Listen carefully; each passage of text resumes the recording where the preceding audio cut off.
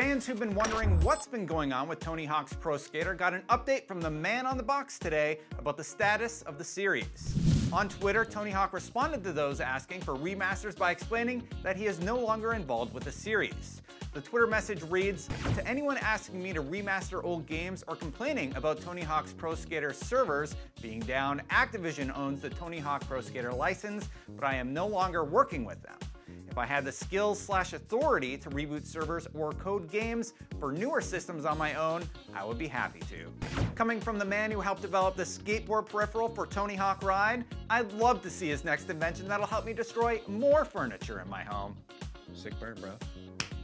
While we're on the topic of older games, a few fan favorites including The Witcher 2, Crackdown, Fable Anniversary, and Forza Horizon are receiving Xbox One X enhancements. That means these 360 games will look better than ever by running at a higher resolution, 9 times the original pixel count, and more on the Scorpio aka Xbox One X system.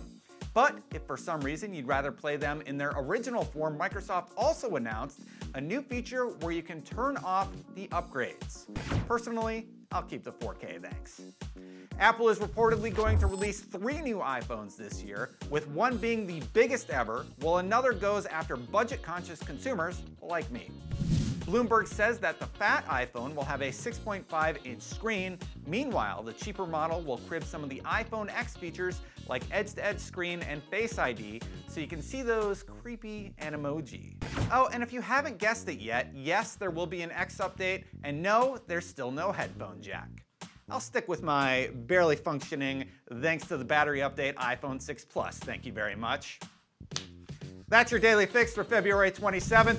Now that you're all caught up, watch our video review for Into the Breach, which is the next game from the creators of FTL. Spoilers, this tactics game has also gotten a high score from us, meaning it has my attention.